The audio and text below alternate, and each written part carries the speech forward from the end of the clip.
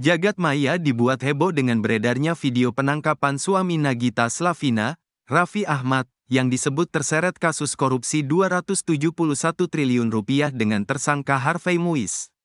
Bahkan, dalam video yang beredar tersebut, terlihat istri Raffi Ahmad, Nagita Slavina, sampai mengamuk. Lantas, apakah benar video Raffi Ahmad ditangkap tersebut?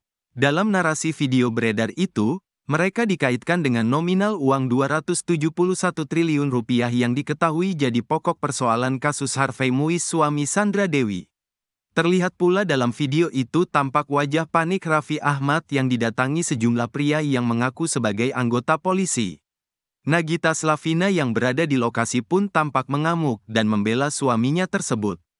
Hebohnya video tersebut rupanya juga sudah sampai ke telinga Raffi, ia lantas bereaksi. Tak ingin namanya terus dikaitkan dengan kasus pencucian uang yang kini sedang hangat menjadi perbincangan. Keduanya membuat klarifikasi lewat unggahan di akun Instagram @raffi_nagita1717. Baik Raffi maupun Gigi menjelaskan video yang ramai beredar tersebut merupakan konten prank dari Atta Halilintar yang diunggah lima tahun silam. Video tersebut kembali diunggah dengan narasi hoaks oleh oknum tak bertanggung jawab. Download Tribun X sekarang menghadirkan lokal menjadi Indonesia.